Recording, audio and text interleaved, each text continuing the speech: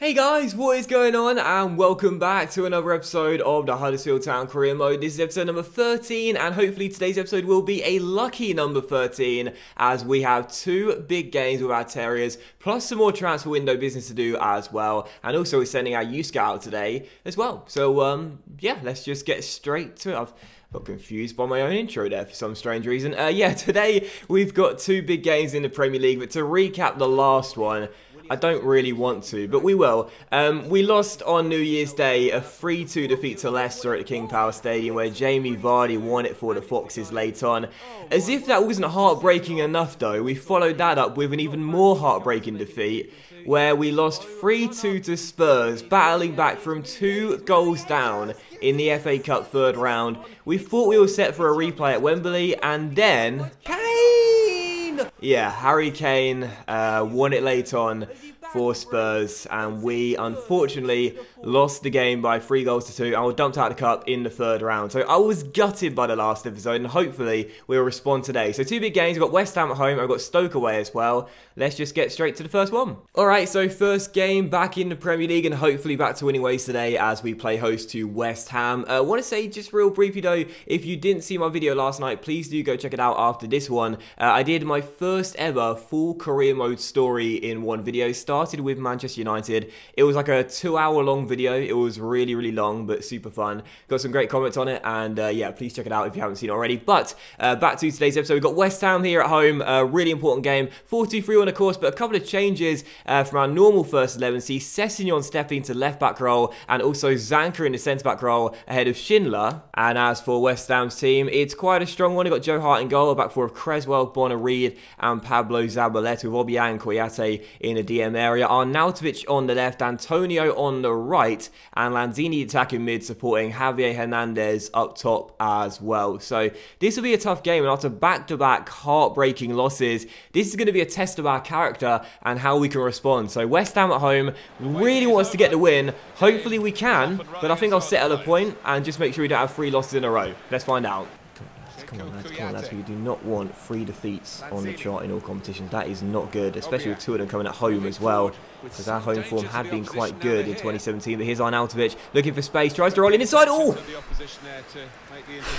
I mean, it was fine in the end. Like, we got away with it. But dear oh dear, had that gone in, I would never have lived that one down. That would be a summation of our form at the moment. Antonio on the ball, gets round Sessegnon, crosses, in it goes. Zanka just about deals with it. Pick the ball up, Lössl. Jesus, what's going on? It's not just our form that's been poor lately, it's our general play as well. And I don't like to make excuses, but since the patch has come out, I've really, really found FIFA very, very, very, very, very, very uncomfortable to play as Tom Smith, Tommy Smith I should say, heads one off the post and then gets behind for a corner. Since the patch has been released, man, like my general gameplay has been absolutely terrible. I've got to sort it out. Half time, no, no, and I said I'd take a draw, but we've got to spark into life, man. We were scoring goals for fun at the start of the season. Can't do anything now. A lot of you guys have been giving me advice since the start of the series, mainly on transfers uh, but also on what system we play with Huddersfield. Now, I do really like the 4-2-3-1, and lest we forget, we're still in a very, very good position based on how weak this team is compared to the other sides in the Premier League, but I'm not against changing things and going to a different setup. Maybe playing with two up top and, and trying to get Mounié some support, as sometimes he can be a little bit isolated, but yeah, definitely something needs to change, man, because at the moment we're doing stuff like this. I just can't seem to find enough bodies, enough blue and white shirts around me when I'm on the ball to, to work our way forward. I'm forcing things, inevitably giving it away and giving chances to our opposition. Antonio through towards Chicharito and Hernandez hits the post. Twice West Ham hit the post now. Still nil-nil. This is not looking good say twice hit the post. One was Tommy Smith heading the ball against the woodwork. Lanzini now on the ball, trying to take it around Zanka. Rolls it across, and there is the first goal. It was coming.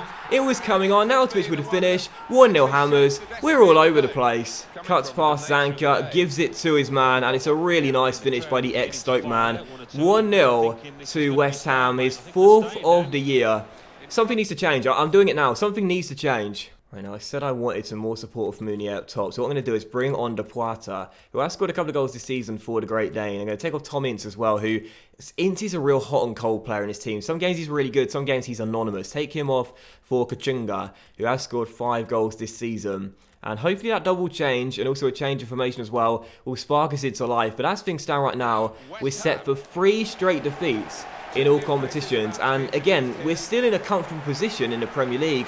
We're way away from the relegation zone. And of course, just staying in the division is important for us this year in our first year in the top flight. But I'm not happy with our recent run of form. And in general, I think I think this will be what three wins in like 12 games or something. That's nowhere near good enough. Can't roll the ball. First chance could fall here. Depoitre could be through. Oh. That would have been perfect. Depoitre first time strike just over the bar. That's what we want to see though. Chance straight from kickoff after the changes. Let's get back on level terms. Come on Huddersfield, we're better than this. We, we beat United and Liverpool back to back for goodness sake. Come on, Kasey Palmer on the ball. Space to shoot and Joe Hart makes the save. This is more like it. I do not want to lose the first game. Good tackle by Sisto. Wins it back and finds Kasey Palmer. And Palmer into Mounié. Mounié, can he find space to shoot? Can he find space to shoot? Mounié! Oh, Joe Hart! What a save! Come on, come on, come on. We need a goal. Sessegnon to Zanka. And Zanka to Smith. No one, no one's giving me an option. The, the, the, movement is just too static here. Smith to Mooy, Mooy, Mooy, Mooy, Aaron Mooy. Oh, what a goal! Aaron Mooy with an absolute thunderbolt has rescued a point for Huddersfield with seven minutes to go. It's a bit of Mooy magic from the Australian. Back on level terms, and we deserve it. Great spell of pressure in the second half. Finally, it pays off. Mooy takes it round one and just smacks one from range. And Joe Hart, who made a great save a moment ago, has no chance with that one. 1-1, back on level terms. And my word, did we need this. Aaron Mooy, the saviour. No, no, no, no, no. Oh, final kick of the game. Hernandez fires it over. And that will do it. So, final score at the Kirklees Stadium 1-1. I said I would take a point. For a while I was thinking it's not going to come, it'll be three defeats in a row, but I'll take it. We end the loss streak after two.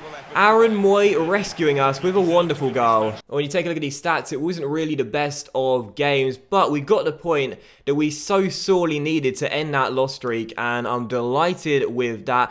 Very tough game for man to match though, because it wasn't really a classic here at the Kirklees Stadium. Not too many chances at all, although it felt like there was more. Like the stats didn't seem to reflect the general game. It felt like there was more chances, but I guess the poor defending is, is why it felt like more of an action-packed game. But anyway, Mooy man to match for that absolute thunderbolt to rescue us late on.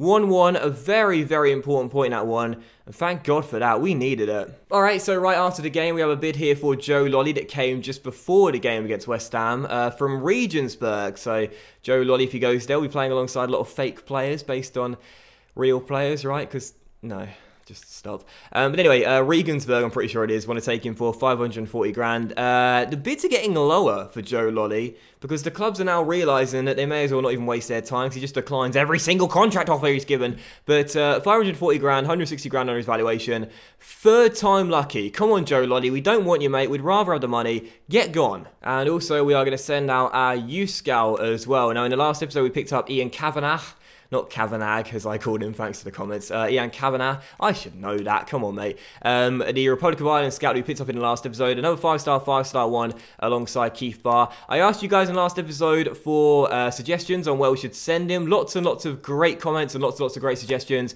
Uh, one I saw was to Australia, so in today's episode, guys, there'll be a poll in the top right for where we send him. Australia will be a first team in the poll. Lots and lots and lots and lots and lots of comments for Denmark as well they are the second team you guys can vote for in the poll. Serbia, I thought would be quite an interesting choice. Obviously, we're struggling to defend. Maybe we could unearth the next Nemanja Vidic. Canada is the fourth nation you guys can vote for. Obviously, back in my FIFA 16 career mode, Watford and Milan. Uh, we had quite a lot of Canadian talent due to my brief stint with that nation. So Canada, the fourth team in the poll. And the fifth nation you guys can vote for in the poll is Nigeria. So yeah, five great nations for you guys to vote for in the poll today. Please do vote. As I always say, I need to get you guys involved as much as possible in this series. I, I love the real community feel we have. You guys contributing to the series, as well as me making the episodes too. So yeah, five nations for you guys to vote on. Uh, in the top right of the video, you'll see the little eye. Uh, if you're on a mobile or tablet, tap the screen, it'll be there for you. If you're on your desktop, hover above the video and you'll see the eye. Click on that, and yeah, five nations in the poll. Vote for which one you want us to scout next will be in Kavanagh, and hopefully we'll continue to improve our already very good academy. Now, we also have an email here from the Welsh FA who have said, since we have not heard back from you concerning the vacant head coach position for the national team, please get back to us right away with your answer, or we must be forced to assume your silence in this matter means you do not want to coach Wales. And the truth is, Welsh FA, I do want to coach Wales. I think that would be an amazing project, but you can't scout for, for Welsh youth talents in this game. I don't know why EA have not added that country in yet because uh, the Welsh as a footballing nation are getting better and better and stronger and stronger year after year. They're at, I think, their highest position in the FIFA rankings ever in the country's history. They've got some awesome players. But I, I don't want to take a nation I can't get youth players for either, so I'm going to reject the offer. I know quite a lot of you guys said when I first got the offer, please take the Welsh uh, job. Some of you guys saying take the Indian job as well for Jackichand Singh. I can't do that challenge. I'm sorry. And I'm going to reject Peru as well. I was going to reject all three of those nations there that have offered me uh, that have offered me the job. But yeah, I just I, I don't understand why you can't scout for Welsh youth talents. If if anyone at EA is watching, highly unlikely. But please recommend that you can do that now. You know, scout for Welsh talents in the next game because it, it, needs to happen. But also a bit here for Collin Quaner. Uh, Nottingham Forest want to take him, and I am probably just going to accept that deal, even though it's 15 grand lower than his valuation because we've barely used this guy. I'm not much of a fan of him either. So yeah, Quaner could go, and I'm fine accepting that bid. I just, I know this is a common problem this year, but it doesn't make it any less frustrating. It is not going to be long before I terminate your contract, Joe Lolley. Leave the club and go somewhere else. We do not want you.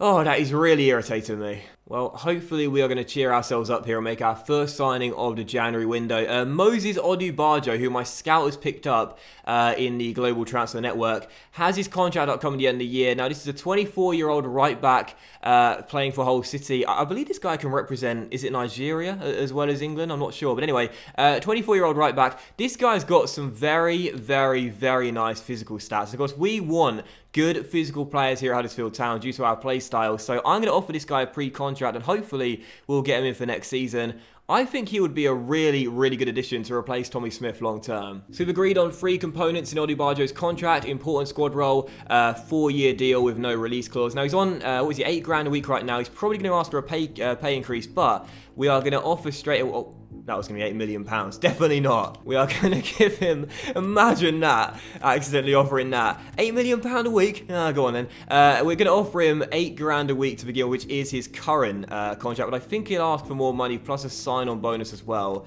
Uh, but I won't offer one straight away. I'll wait for the agent to, uh, to, to ask for what he wants there. And he's going to want an extra 400 quid a week in his contract, which is nothing really, plus 125 grand sign-on bonus with 190 grand after hitting 20 appearances. We're going to counter that though, and what we are going to do is edit the bonus, give him after 10 games 100 grand, and also change the sign on. Oh, change the sign. I did it again. Change the sign on bonus to 100 grand as well, and hopefully they will say yes. Well, he's okay with the 100 grand after 10 games, but does now want 9 grand on his contract plus 125 grand sign-on bonus. Do you know what, Moses? You can come in. I'm totally fine paying that. As a free transfer, I think this guy a pretty decent pickup. 73 rated with some decent physical stats. So Moses Odubajo will be our first signing of the January transfer window. He won't come in until next season, as this is a pre-contract signing, but a pretty decent pickup there. And on a free transfer, I'll certainly take it.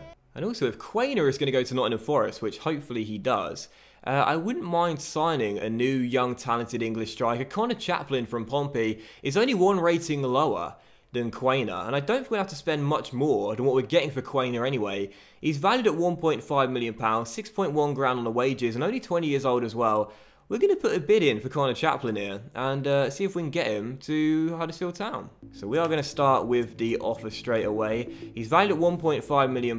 Based on what the chief exec said, I think we might be able to get him a little bit cheaper than that, you know. So going to put in a 1. Mm, 1.15 million pound bid to begin with and see what they say. No, they want 1.35 million, but you know what? I'm totally fine paying that. That's under his current market valuation. So to me, that's totally fine. 1.35 mil, I'll, I'll, I'll, I'll pay that. I'll pay that. That's not a bad deal for us whatsoever, that one. Much lower than I thought we'd have to pay initially. All right, so I was going to wait until after the Stoke games complete this deal, but uh, Conor is pretty eager to kick things off straight away. So let's go ahead and offer him the contract now. I, I wanted to wait until Quaner had decided whether was going to leave or not um, before putting in the contract offer, but he uh, he wants to come in now. So uh, yeah, I've got no choice but to offer him the contract straight away, just in case he decides to pull out. And for 1.35 mil, this will be quite a good little cheap pickup for us. So hopefully he won't ask for much more on the wages than he's on right now. And this will be a smart little sign So uh, we've agreed on three components in the contract. Now it's on to money. And as you can see, he wants 12.5k a week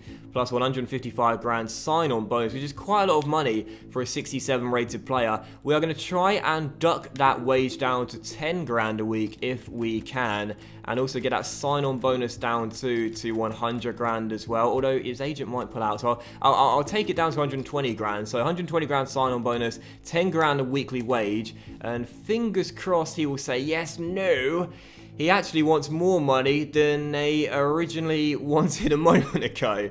So I've totally balls that one up. But you know what? I am fine paying that money for me to getting in a decent young prospect. So uh, yeah, Chaplin in for a lot more money than I was prepared to pay initially. I should have just accepted that contract offer there, because that would have been fine for me. But okay, 11.5 grand on the weekly wages. I'm fine paying that, and a bit of a big bonus too. But it's fine with me. Chaplin, welcome to the club. And so these are Conor Chaplin's full stats. As you can see, we want physically good players in this team, and we continue to sign players that are just that. He's very quick, very agile, some decent stamina and jumping and balance as well. His strength rating not too low either. And technically, as a 67 rated player, there are some decent stats there as well. He's only 20 years old, so plenty of room to grow. A left-footed player of high medium work, uh, work, uh, work rates, three star, three star. Five foot six, a little bit concerning, so won't be much good in the air, but still a pretty decent player and uh, a cheap signing as well. So Chaplin, one for the future and a smart little pickup. Alright, so second and final game today, and it is rock bottom Stoke away from home. So surely this is the game we get back to winning ways and finally get our first three points of the new year. Uh, it's an okay team, so why they're struggling so much, I'm not entirely sure, but certainly a beatable one, no doubt about that. And thank God they're not using Peter Crouch after what happened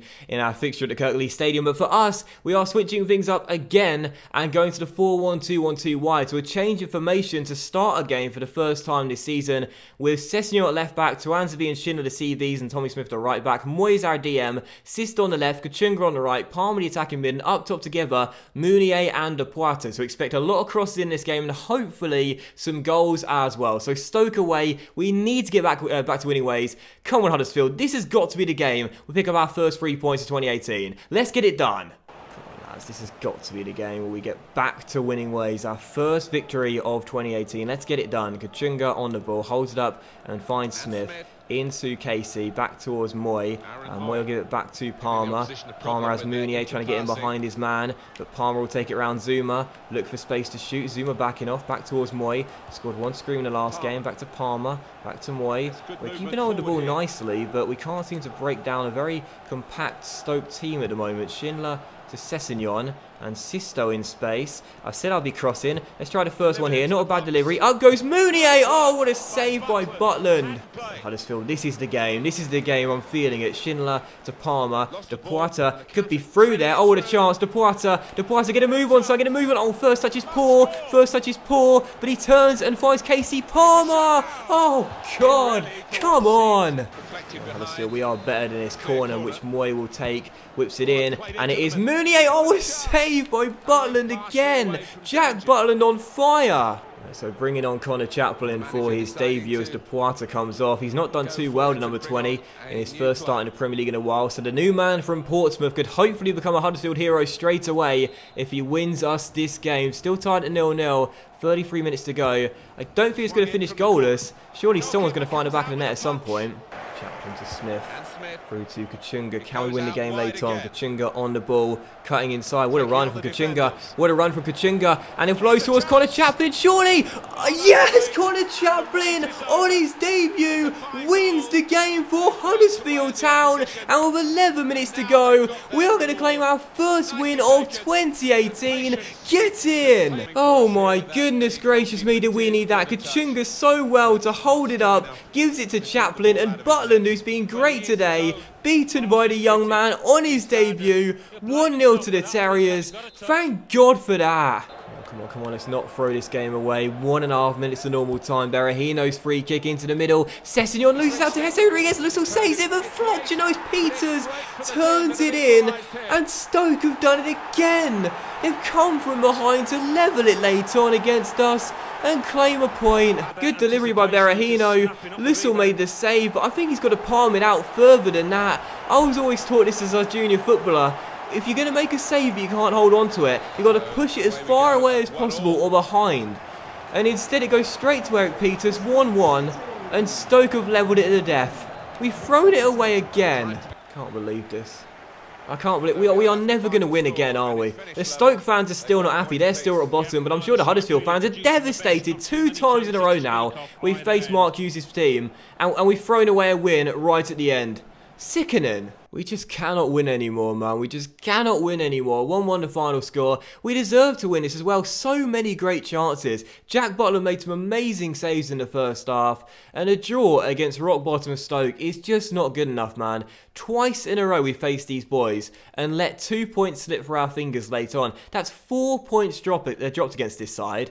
I'm absolutely livid. But man the match, Pieters got the highest rating with an 8.2. Scored that late goal to rescue it for Stoke. So we'll give him the man of the match match. But actually, I think, do you know what? No, we'll give it to Butland because Butland in the first half was just on fire. So Butland and Pieters can share the man of the match after a very disappointing draw. Once again means that we slip up in the Premier League and fail to close out the game. We've done that far too many times this season, far too many times, and that's why we're not higher up in the table. So that will end today's episode of the Huddersfield Town Career Mode, guys. So a big thank you for watching.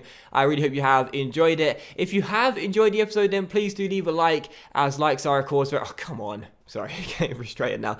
Um, thanks for watching anyway. Uh, please do like enjoy the video. Hope you guys had a fantastic weekend. Much love to you all. Enjoy your Sunday night. And I'll see you for the next episode of the Huddersfield Town Crew Mode very soon, which will feature transfer deadline day as well. We'll also send out you scout as well, based on your votes in the poll. So thanks for watching. Have a great night. And I'll see you for the next episode very soon. Bye.